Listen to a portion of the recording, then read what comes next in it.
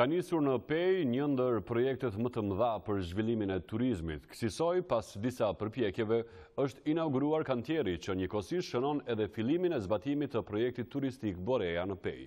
E gjatë inaugurimit, kryetarin e Pejës, Gazmend Muhaxherin, e kanë tradhtuar emocionet dhe ka shpërthyer në lot. Një ëndërr si Borea do t'u shërbejë në mënyrën më të mirë gjeneratave të ardhshme të cilat po vijnë pas nesh.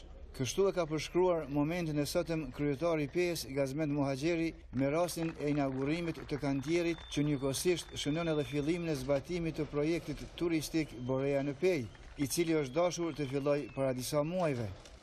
Katërdhjetë vjet janë dy breza që kanë andrru për me realizu një projekt.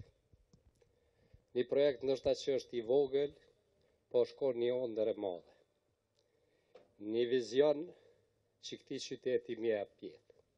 Në fazën e parë do të ndërtohet teleferiku me 68 kabina dhe një ski lift, ndërsa kapaciteti i plotë do të jetë 20 km shtigje të skijimit.